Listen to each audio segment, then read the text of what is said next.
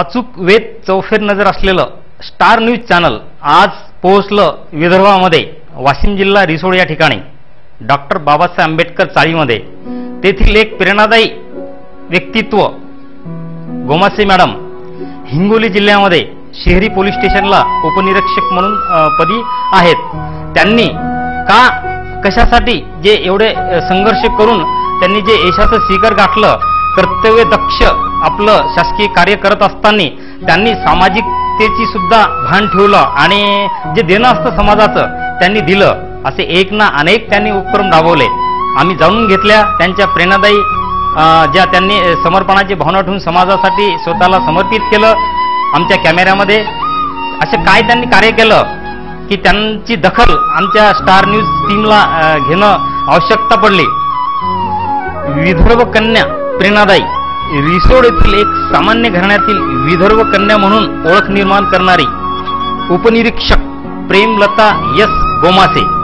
त्यांचे एक ते बारावीचे शिक्षण रिसोड येथे झाले. नंतर पूर्ण शिक्षण त्यांनी औरंगाबाद या ठिकाणी प्राप्त केले. M P S C pass झाले. त्यांची पहिली पोस्टिंग हिंगोली जिल्ह्यात कळमनुरी येथे पोलीस ठाण्यात उपनिरीक्षक पदावर नियुक्ती झाली. त्यांनी या काळात एक ना अनेक अस- प्रकरणे हातात घेऊन त्यांचा छडा लावला.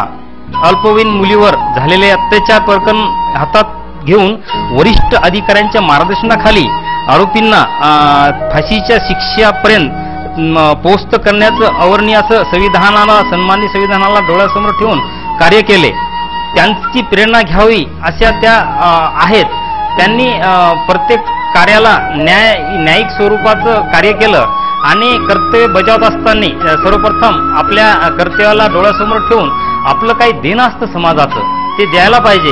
हे डॉक्टर बाबासाहेब आंबेडकरांचे विचार डोळ्यासमोर ठेवून त्यांनी कृतीत उतरवले. तर काय आहेत? आम्ही जाणून घेणार आहोत त्यांच्याकडून. कारण प्रत्येक ठिकाणी अं, गाव म्हटलं की वेश आली हे देवे आले भाऊकीचे वाद आले पती पत्नीचे वेगवेगळ्या कारणावरून होणारे वाद सर्वश्रुत आहेत.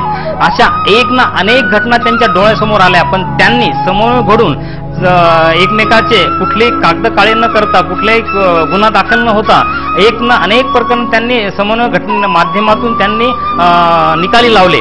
अशा ह्या प्रेरणादायी आहेत की त्यांची दखल इतरांनी घ्यावी.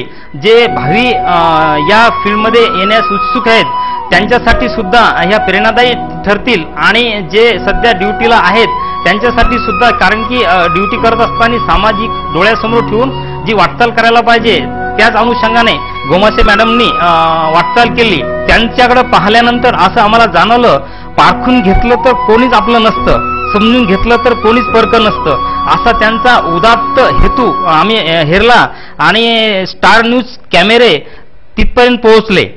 जय हिंद सगळ्यांना.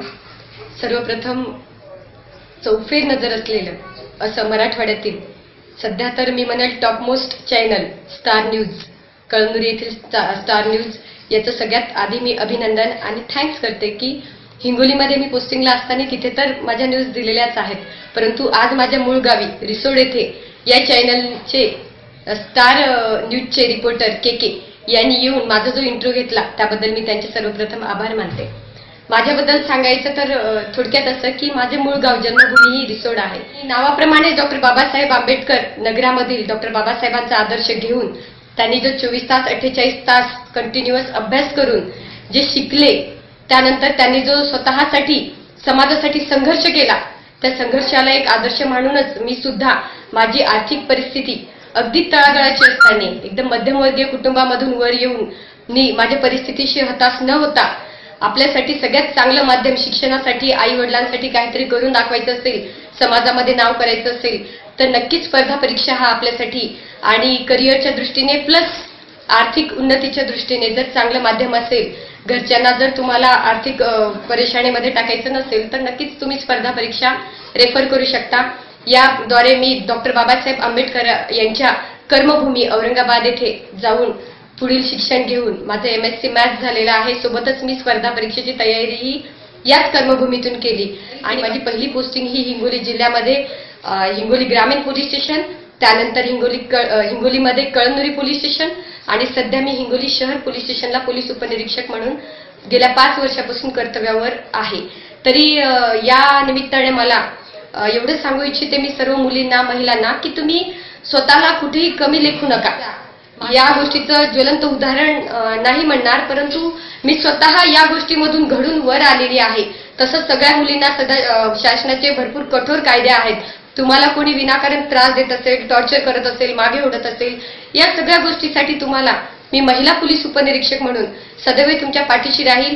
महाराष्ट्र शासन तसेच पोलीस खाते तुमच्या सगळ्यांचं पोलीस डिपार्टमेंटमध्ये इच्छुक असणाऱ्या महिलांसाठी नेहमी त- तत्पर राहील. तुम्हाला तुमच्या भावी आयुष्यासाठी शुभेच्छा.